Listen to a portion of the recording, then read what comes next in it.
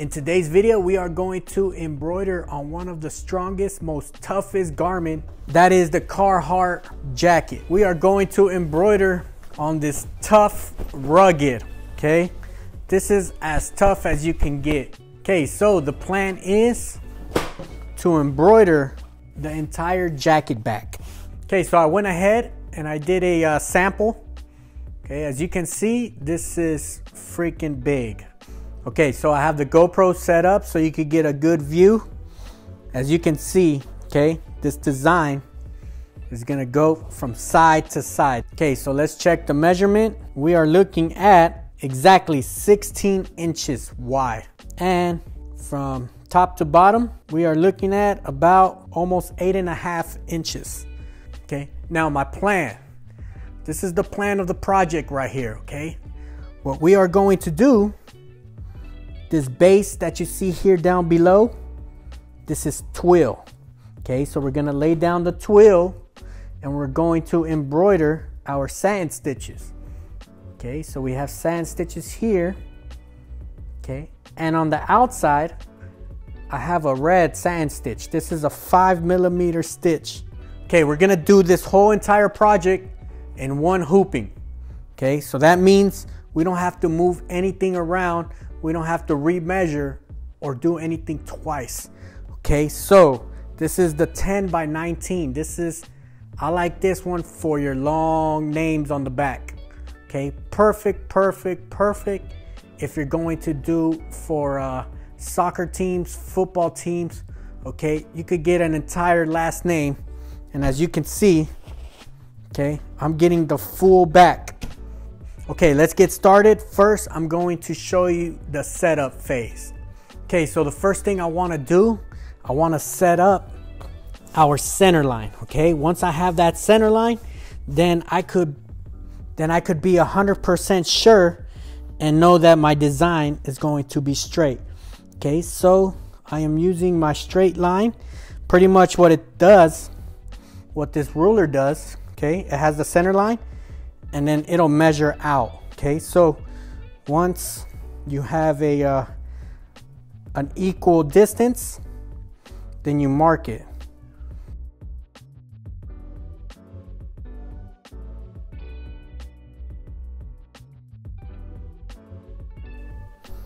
All right, so this is the material here. Okay, there's a lot of different layers of material. Okay, you have cotton, you have nylon, you have polyester. It's just a mix, okay, of a lot of heavy, heavy fabric. Okay, so we don't have any uh, zippers or anything to worry about, so we could just hoop it up straight up. Okay, so let's go ahead. You want to zip this up in this part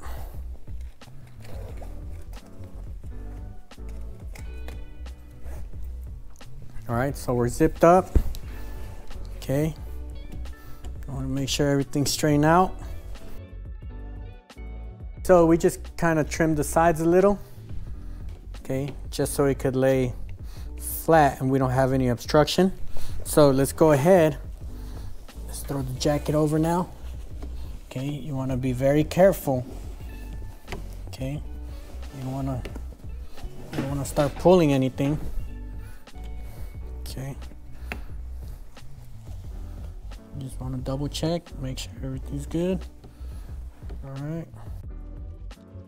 Once you're confident that you're straight, okay, sometimes it might take you a couple times, okay, two, three, four times, okay, but with practice, you'll become an expert in no time, okay. I know this is my center, I could just feel the bottom of the hoop, and I know what to look for, okay? This is like the notch, this is the center, okay?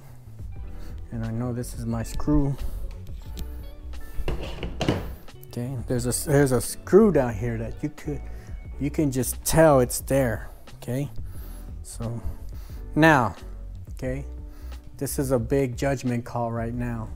Is this notch? Where do you want to put this notch? Okay, this notch is going inside the machine. So if I hoop it like this, the way it is now, this hood is going to be inside the machine. So the problem with that, it could get bunched up, okay? All the way inside in the corners. And I'll show you right now what I mean. So what I like to do, okay, I like to put this notch facing away from the sleeves and the hood. Okay, so let's go ahead. Let's snap this. Bam. Okay. Now, if you want to double check your work right here, okay. All right, I could see my line right here. I'm good to go. This is good right here. This is perfect.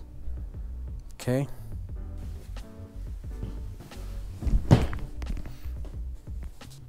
So what you want to do now is open up the jacket. Okay. Look at that. Okay. You want to make sure your jacket is flat. Okay, a lot of people say because the Carhartt is tough and strong that you don't need backing. Okay. But the purpose of this cutaway, okay, is going to give you a consistent flat layer here. Okay, so your stitches are all going to have a consistent base.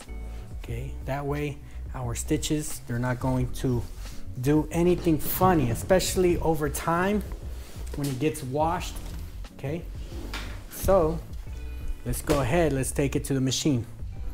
Okay, so let's carefully, okay, so just want to lift all this gear all right all this stuff and we're going to tuck it in neatly. Very important when you're doing this um, when you're doing the Carhartt okay? You see I got my hoodie here. It's hanging away okay? I got the sleeves here. I got the hood down here okay? Because if you do it the other way around where the hood is facing inside, then you're definitely gonna have a lot, a lot of excessive bunching up.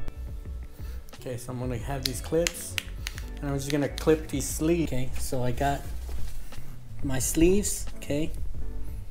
I got them clipped up just so they don't move.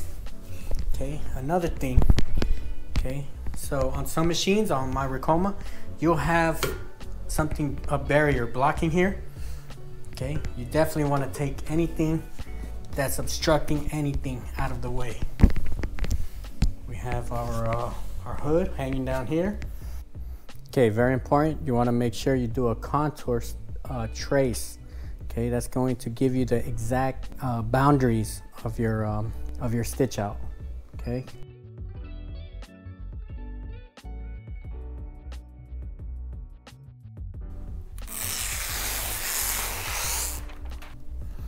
Okay, so I want to make sure I take it off the, the hoop. I could place this twill on the, while it's on the hoop, but I want to be 100% sure that I get it nice and flat. Okay. So there's always the choice you have to make whether you want to cut it or you want to use your cutter to cut this. Okay, ideally, I would say if you're doing a bunch of these, if you're doing letters, yes, use a cutter. Okay, in this situation, I'm just I just really have a uh, a border. It's pretty straight with a with a couple of you know curves inside, which is no big deal. In this situation, I'm just gonna go ahead and cut it okay? But i'm telling you once you start you if you want to start using uh, letters patterns and it could start being time consuming okay? But let me just show you how i go about because not everybody has a cutter okay? So i'm going to show you how to do it without a cutter. What i like to use just with my all-purpose scissors okay? I'm not doing any fine cuts right now. All i'm doing is cutting into locations that's going to help me do this job faster. So I'm pretty much just cutting literally the corners So when I go ahead, so when I'm just cutting, I'm doing it in portions instead of in one giant piece. So this five millimeter uh, satin stitch, it'll cover minor imperfections. Okay, so I'm using uh, these applique scissors. As long as I have this flat part down behind the twill, then I know I'm not cutting anything, any of my, of my bottom portion, okay?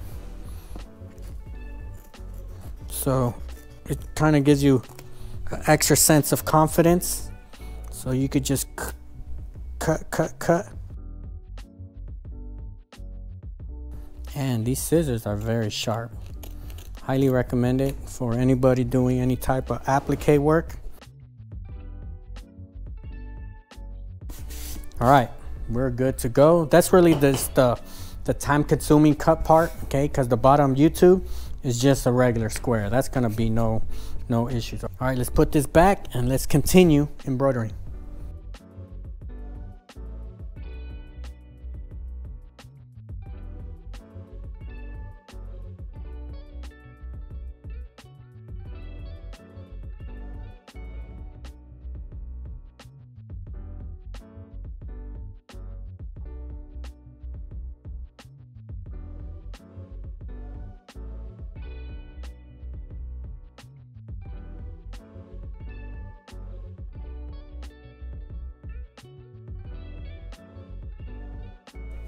Okay, we are now off the hoop. And as you can see, let's zoom in real quick. Okay, so you can see everything is looking very clean. Okay, so let's go ahead. Let's take off this hoop. All right, bam, look at that. Now, our size there you go, 16 inches. Okay, this is super big back jacket. And let's check the inside. Okay, so now I gotta just come in and cut my cutaway. But as you can see, let's check this. The satin stitches stitched out perfect. All right, that's just a double check if you want to double check yourself. Okay, just on a side note, okay, I also have a my extra one that I have. I'm gonna turn this into a patch, okay, because you could also do this as a patch, okay. You have the option of doing it uh, straight embroidery or make it as a patch. So this one I am gonna turn it into a patch because there are certain jackets that aren't uh, embroidery friendly, that don't have a flat back. So on one of the upcoming videos, I'm going to actually turn this into a patch and press it onto a another Carhartt jacket. Okay, just so I could show you different varieties and different ways to do certain projects. All right, here you go. Another successful project. I'm going to leave all the information, all the materials down below in the description okay? And if you have any questions, make sure you leave them down below. Thank you for watching this video, and I'll see you in the next project. Peace out.